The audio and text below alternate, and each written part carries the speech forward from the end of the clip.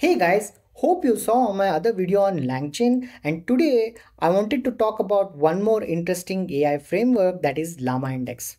Llama Index, previously known as GPT Index, is a very well-known popular AI framework for building LLM powered applications.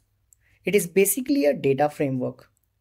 It enhances AI applications by connecting LLMs with variety of data sources such as PDFs, databases, and also applications such as Slack, Notion, etc.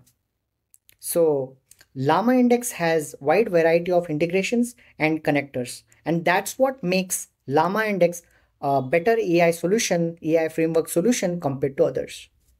So basically, Llama Index connects LLMs with external data efficiently. Apart from that, Llama Index has wide variety of features and let's see what are these features.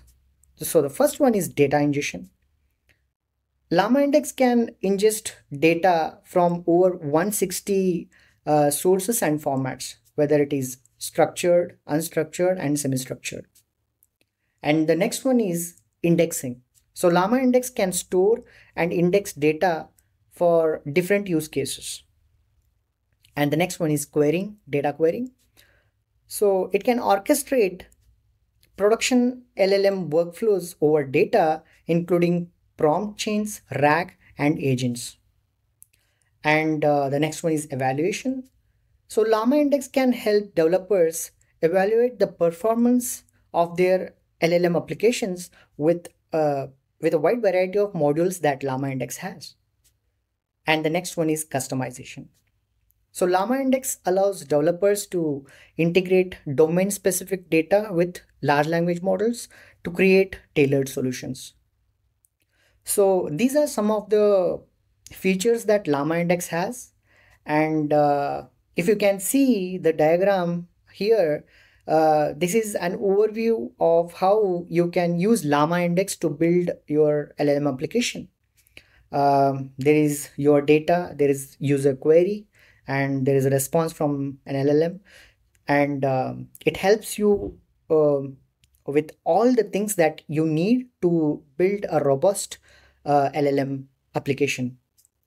So yeah, with, with all this, uh, in the next part of this uh, video, let's see a uh, simple chat engine. Uh, let's build a simple chat engine using uh, Llama Index.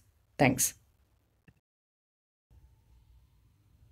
Hey guys, so here is a simple chat engine using Llama Index, uh, a simple tutorial. So I'm using single store notebooks feature here uh, to run my code. So if you guys are new to single store and if you guys don't know what is single store, it's uh, it's a relational database company and uh, uh, it has some amazing cool features. It, it started supporting vector storage long back in 2017 itself yeah you can also use single store as your vector database. It has this cool notebooks feature integrated notebooks feature that you can use and that's what i'm using to run this uh, simple uh, tutorial. You can just go to singlestore.com sign up and start using notebooks feature and the database. Uh, it's uh, they have a, a, single store has a free tier and uh, uh, it's it's free forever and uh, yeah uh, once you create your uh, new notebook you will land here and then you can start with your um, with your code running your code. So uh, this is a simple example of a chat engine using llama index. So first things first uh, install llama index and the required libraries. I'm installing llama index. Pip install llama index is um, the command. And then i'm going to download the data. Um, some publicly available data you can download any any data and uh, you will will mention our open AI API key. And then we will load and build the index. Um, so we are we are using a GPT-4 model here and um, yeah we will next thing is we'll configure the chat engine. Uh, and then we can chat uh, with our data basically. So we can ask any question and it's going to answer back with a response So this is a very simple um, chat engine using Llama Index and uh, in the next part I'm going to show you one more uh, little advanced uh, um, uh, tutorial using Llama Index. Thanks. Hey guys, so here is a simple example of building an AI agent using Llama Index. Uh, so the first things first, you install the libraries, required libraries, Llama Index and OpenAI. And uh, once you do that, uh, we'll mention our OpenAI API key because we're going to use our model GPT-4 and uh, we're going to define a tool retriever and that's also possible with uh, Llama Index. And so we basically we're going to uh, define tools as different Wikipedia pages, right? So um, uh, the wiki titles are Toronto, Seattle, Chicago, uh, Boston, and Houston.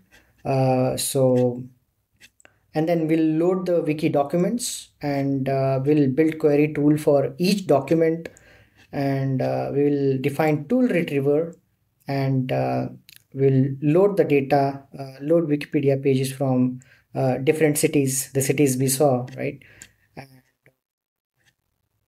next thing is we'll build an agent that that can answer our query. So basically the query is like right so uh, we are building an agent that can tell tell us about toronto okay? And uh, we are calling the agent and asking the query right?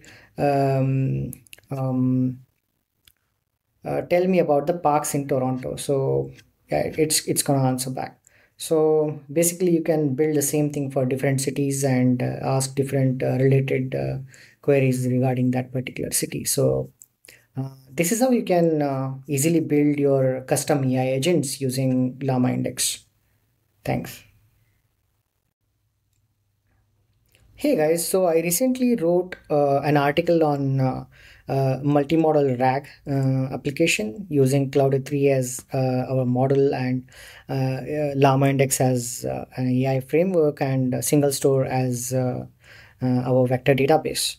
Mm, so um, uh, the complete uh, code uh, I have provided here, um, you you can go through this uh, particular tutorial. I'm going to share the link in the uh, in the in the in the description or in the comments, uh, so you can you can just see the power of Llama Index while building your RAG RAG application.